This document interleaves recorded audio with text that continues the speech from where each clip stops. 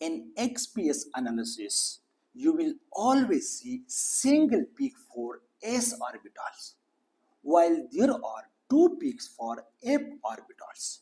So let me show you why there are two peaks. This is a common nomenclature or notation for XPS peak representations. This n represent principal quantum number. In this case, it is equal to 4. This means number of shell. This L represent basically orbital angular momentum. And for L, we have this 3. For, for F orbital, we have L is equal to 3.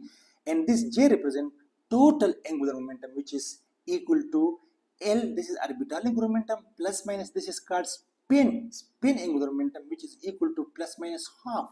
This is not orbital, this is basically spin. So in one case here, this when we add these two, we will spin up, so it gives us this 7 by 2 here, and when we subtract